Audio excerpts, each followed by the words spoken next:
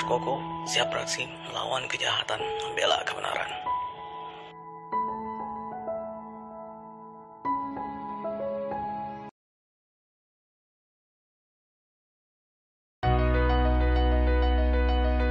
Budi dan Tono terlihat agak berbeda di beberapa hari ini.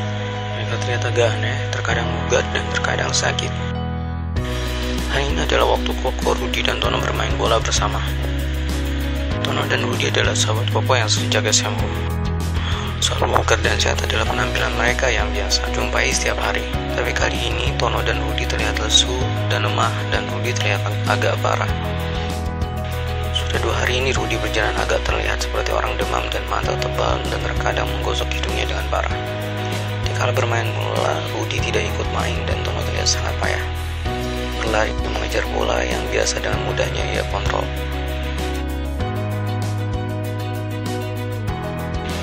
Kau mulai mengikuti Rudi di setelah bermain bola. Di tengah jalan ia melihat hal yang mengejutkan. Ada yang terkejut. Tetangganya Koko yang terkejut. Oh, bukan. Koko.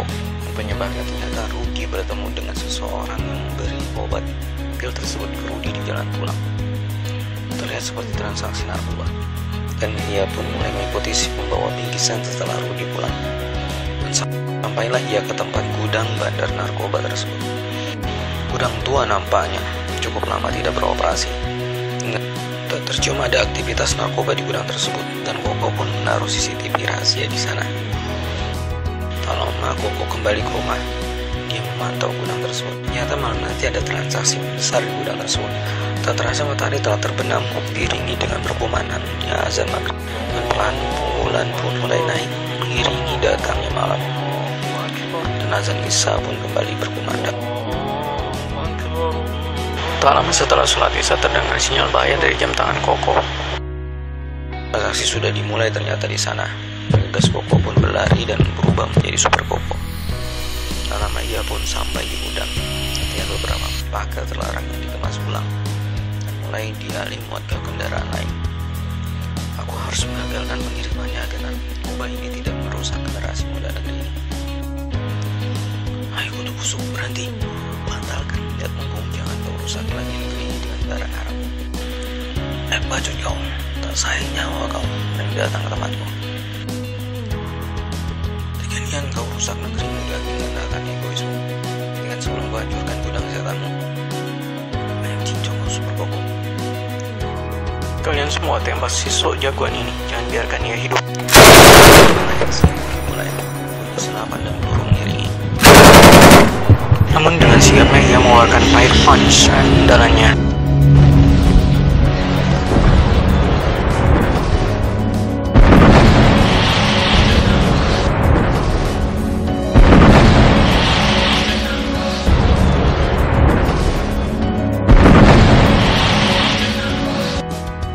akhirnya para anak buah penjahat tersebut pun terkapar berantakan.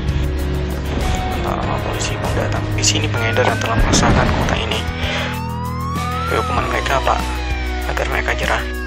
Kalian para penjahat jerahlah agar tidak merusak bangsa ini lagi. Pak polisi Super Koko. Terima kasih Super Koko. Super Koko selalu siap membela kebenaran dan menumpas kejahatan. Sampai jumpa di Super Koko berikutnya.